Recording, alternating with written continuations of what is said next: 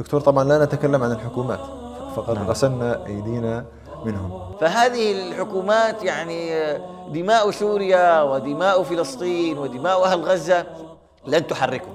ينبغي أن يكون كل على ثغره بالإعلام وبالمظاهرات وبالمنشورات.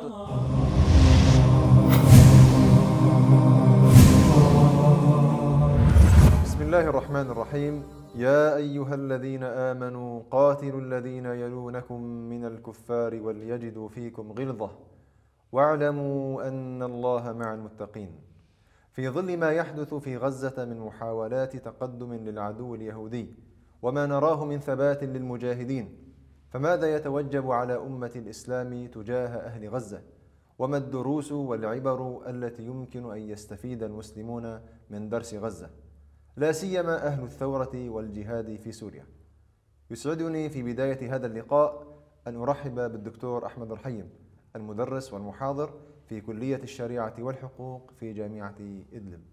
حياكم الله دكتور. أهلا وسهلا أهلا وسهلا الله. بكم من جديد. حياكم الله. دكتور بداية نريد منك كلمة ثناء شكر لأهلنا في غزة على ما يقدمونه وما يبذلونه من تضحية وجهاد وصبر على البلاء في وجه هذه الحملة اليهودية الجديدة. بسم الله الرحمن الرحيم. الحمد لله رب العالمين. والصلاة والسلام على نبينا محمد وعلى آله وصحبه أجمعين. الحقيقة تعجز الكلمات والعبارات عن الثناء والشكر والتقدير لما يخوضه أهل فلسطين عامة وأهل وأهل غزة على وجه الخصوص في الصبر على المحن والبلاء. وبهذا وبما سطروا من أسمى آيات الجهاد والاستشهاد والصبر على هذا هذه المعركة العظيمة وهذه الدماء الزكية الطاهرة التي تراق. فمن هنا من إدلب الخضراء من إدلب الثورة من إدلب الجهاد يعني نوجه أسمى آيات التحية والإكبار والإجلال والتقدير لهؤلاء الأبطال المجاهدين الميامين رجالا وأطفالا وشيوخا ونساء على يعني أعادوا في الأمة روح العزة والكرامة والجهاد وأحيوا في الأمة جذوة الإيمان المنطفئة التي خبت هذه الجذوة خبت في الأمة فأحيوا في هذه الأمة من مشرقها إلى مغربها جذوة الإيمان الناصعة وأيضا أعادت للأمة حيويتها ومركزيتها بأن تنظر الأمة إلى فلسطين الحبيبة إلى فلسطين الفلسطين التي هي قلب الأمة النابض إلى مسجد الأقصى هذا الرمز المقدس عند الأمة وعند المسلمين. لذلك تعجز الحقيقة كلماتنا عن شكرهم وعن ثنائهم وعن الافتخار والاعتزاز بما صنعوه وما سطروه وما قدموه. نعم. سبحان الله دكتور يعني حتى نريد أن نبلغهم أن الصغير قبل الكبير هو معهم قلبا وقالبا.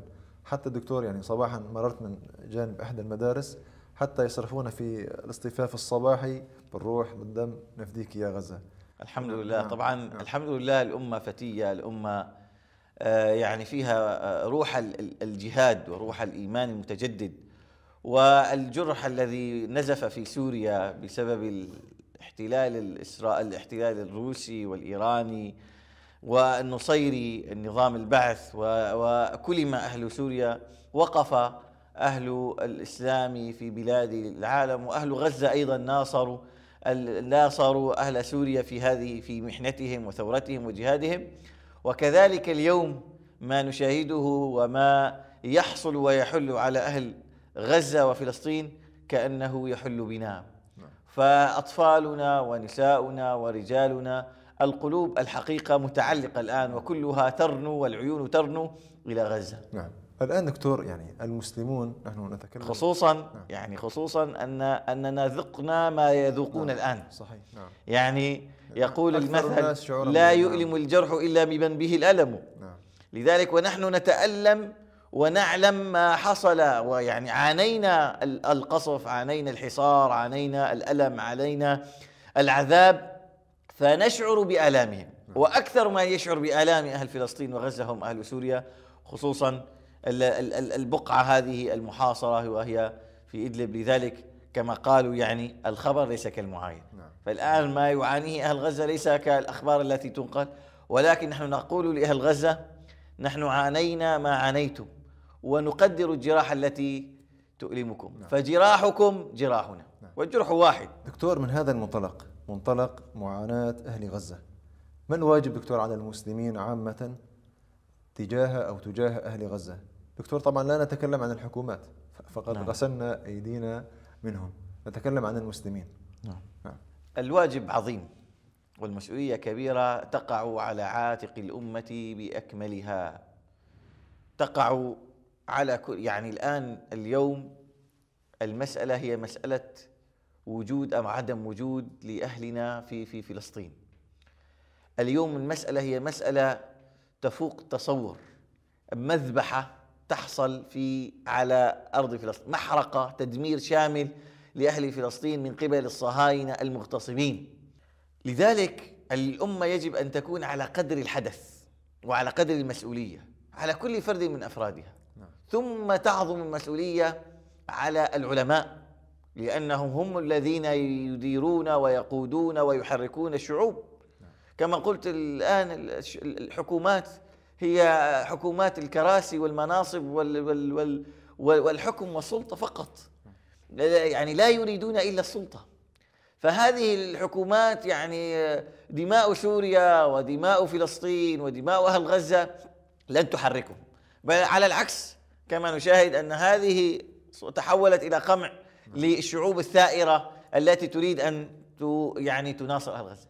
فاليوم الواجب الشرعي على كل مسلم أنه يبادر بأي شيء بالمال بالنفس بالدعاء قيام الليل بالبكاء بالتضامن. خصوصا العلماء الهيئات المجامع الفقهية الهيئات العلمائية المجامع الاتحادات الإعلاميون الناشطون السياسيون. ينبغي أن يكون كل على ثغره بالإعلام وبالمظاهرات وبالمنشورات وتحريض الناس على المظاهرات والتظاهر أمام السفارات وفي العواصم خصوصا العواصم الغربية وغيرها من أجل لأن, لأن عدد المسلمين عدد كبير ملياري مسلم. هؤلاء يشكلون قوة ضغط كبيرة جدا سواء بمقاطعة المنتجات الدول الداعمة لهذا الكيان المغتصب المقاطعه الاقتصادية المحاربة الإعلامية المحاربة السياسية التحريك المجتمع الدولي تحريك الغرب تحريك آه، الشرق من كل الوسائل. يعني الآن ما نشاهده مثلا من مظاهرات من احتجاجات من إعادة المقاطع ونشرها المقاطع الفيديو التي تنشر كلها كان لها أثر عظيم. بماذا؟ بالضغط بالضغط. اولا برفع الروح المعنوية لأهلنا في فلسطين بالصبر والثبات الأمر الآخر بالضغط على الحكومات ثم على هذا الكيان المغتصب حتى يتراجع عن عن قتله للنساء والأطفال وقصفه للمشافي. نعم. دكتور بالانتقال لواقعنا في الشمال المحرر. وما زالت معركتنا ضد نظام الأسد مستمرة دكتور. برأيك دكتور ما أهم الدروس أو العبر المستفادة من تجربة طوفان الأقصى؟ الحقيقة هذه المعركة معركة طوفان الأقصى يعني كما ذكر العسكريون والسياسيون نعم. وأنها سابقة يعني آه، لم تحصل منذ آه، تشرين نعم. منذ 1973 تقريبا وربما يعني فاجأت الكيان منذ نشأته بال 1948 يعني نعم. لذلك هذه المعركة هي معركة فريدة في نوعها آه، مخطط لها بشكل جيد هذه المعركة أذلت الكيان الصهيوني وبرغت أنوفهم بالتراب. ويعني هذه المشاهد التي رآها العالم واستفاق العالم على إذلال هذه الدولة أو الأسطورة التي لا تقهر أو أن هذه الدولة لا يمكن أن أحد أن أن يصل إليها أو أن يخترقها أو أن أو أن يحاربها. فمعركة طوفان الأقصى الحقيقة يعني غيرت هذه المفاهيم وأحيت مفهوم جديد أن الأمة قوية أن الأمة قادرة أن شباب الأمة بإمكانياتهم قادرون على أن يصلوا إلى هذا الكيان الذي يتصدر أن بالقبه الحديدية وقوة أجهزته الاستخباراتية وقوة جيوشه العسكرية وغيرها وأن الغرب كله يدعمه. ما استطاعوا ما استطاعت هذه القوة أن تصد هؤلاء المجاهدين. بقلة عددهم. ولكن ولكن هذه المعركة كما قلت كانت هي صفعة قوية أذلت هذا الكيان وأذلت كبرياءه وأذلت حتى الكبرياء الدول الغربية الذين يعني هذا الكيان هو الطفل المدلل لهم يعني وهي قاعدة استعمارية غربية تقوم في البلاد العربية أو في وسط في قلب البلاد العربية وفي الشرق الأوسط للاحتلال والسيطرة على هذه البلاد وعلى الشعوب. لذلك ينبغي أن يكون هذا يعني الآن مشاعر المجاهدون أو عفوا مشاعر المجاهدين الآن في إدلب آه الآن تستلهم من هذه المعركة. أننا نحن بإذن الله قادرون إن شاء الله يعني أن أن نخوض معارك كطوفان الأقصى وإن شاء الله تعالى أفضل إن شاء الله من نطمح إلى إلى إلى معارك أقوى وأفضل وأوسع من معركة طوفان الأقصى. إن شاء الله تعالى سيستفيق بإذن الله عز وجل السوريون والعالم على طوفان دمشق بإذن الله عز وجل. فيخرج المجاهدون من كل حدب وصوب لإسقاط هذا النظام المجرم الذي يعني آه، الحقيقة هذا النظام يعني آه، لا يقل إجراما عن إجرام الصهاينة. وهم حلفاء وهم متعاونون. وهم متحالفون على قتل السوريين وقتل الشعب السوري والشعب الفلسطيني الأعزل البريء وتشابهوا في قصف الأسواق والمستشفيات والمساجد وغيرها نعم. من المسائل جزاك الله خيرا دكتور.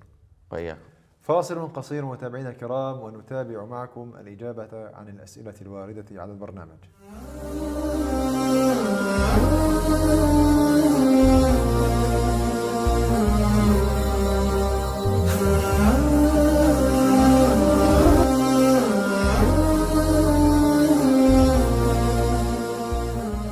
بالعودة إليكم متابعينا الكرام نتابع معكم الإجابة عن الأسئلة الفقهية مع الدكتور أحمد رحيم. يقول السائل دكتور كيف للموظف أن يشارك بواجب الجهاد والرباط وهو يعني غير ملتزم مع فصيل عسكري؟ بسم الله والحمد لله والصلاة والسلام على نبينا محمد صلى الله عليه وسلم.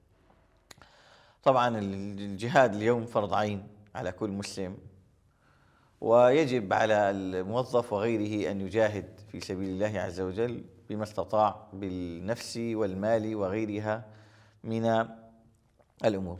وطبعا الجهاد مفتوح بمعنى أنه لا يوجد وقت للجهاد لا صيف ولا شتاء. ممكن هذا الموظف اولا يجاهد بماله ثم يجاهد أو يرابط في أيام العطل. هناك ربما مثلا عطل رسمية عطل آه، تحصل في الوظيفة. آه، يخرج هذا أو يأخذ إجازة دكتور يأخذ نعم، إجازة نعم. ممكن يأخذ إجازة ويذهب إلى الرباط يعيش مع المجاهدين يعيش مع المرابطين يشعر بحالهم آه، وهذا ينبغي أن يكون حال الأمة الحقيقة يعني حال نعم.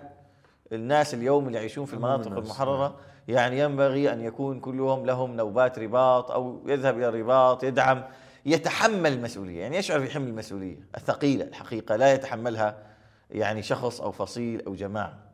يقول السائل دكتور هل يصح أن يستخير شخص عن شخص آخر؟ الاستخارة هي دعاء نعم. ووردت أن الإنسان يستخير لنفسه ويعني لا يصح الإنسان يعني أن يستخير لآخر إلا من قبيل أنه يدعو له أنه يدعو له بمعنى أنه يعني يقول لي اللهم إن كان هذا الأمر فيه خير لأخي فيسره له آه. وبارك له فيه وإن كان فيه شرا له فاصرفه عنه فهو يدعو له دعاء. أما الاستخارة الواردة فهي للشخص نفسه عفوا للشخص نفسه. نعم. السؤال التالي دكتور هل يجوز للمسلم أن يتتبع الرخص في المذاهب والأقوال في التي يراها سهلة على نفسه في أمور العبادات؟ طبعا آه، تتبع الرخص لا يصح ولا يجوز. طبعا الآن هنا المسألة تحتاج إلى شيء من التفصيل نعم.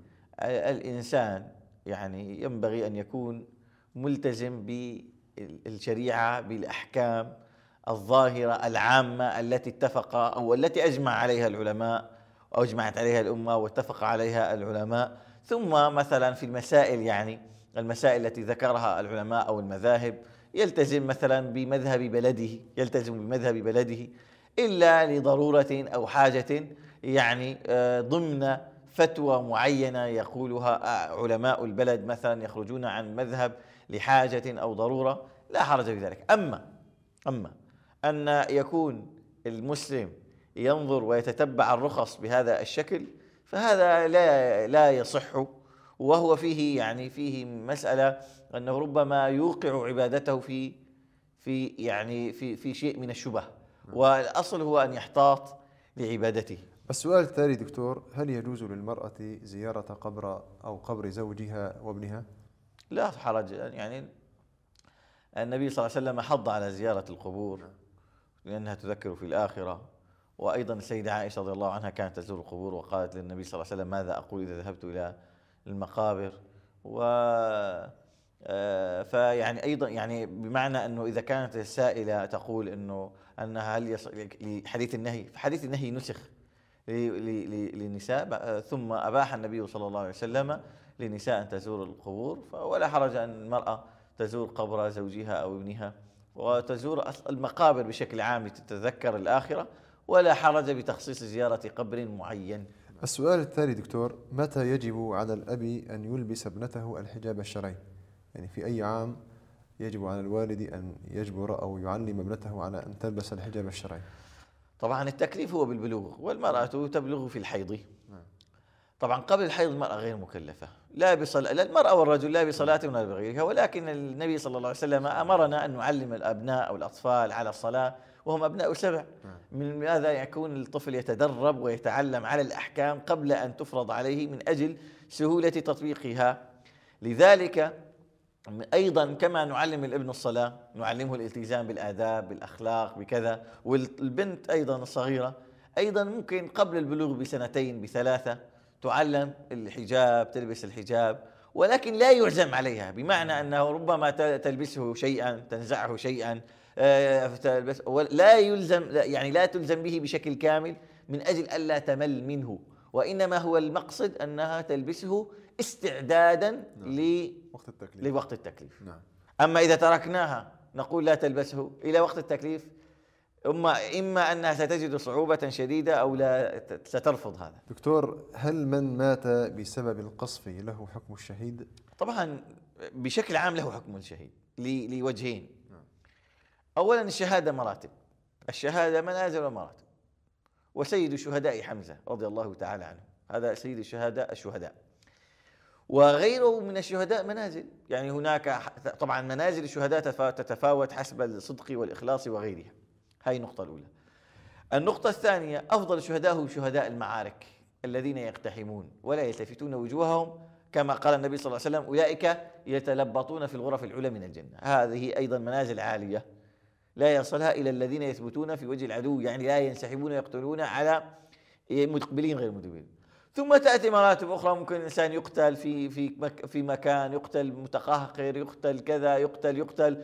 وأيضا الذي يقتل في القصف ولو لم يكن يعني لا يحمل سلاحا هو شهيد بإذن الله عز وجل لوجهين كما قلت. الوجه الأول أنه شهيد معركة لأنها الآن الساحة واللي هي ساحة ملتهبة وكلها مكان حولها النظام المجرم إلى ساحة قصف ومعركة يقصف الأسواق والمساجد والمدارس.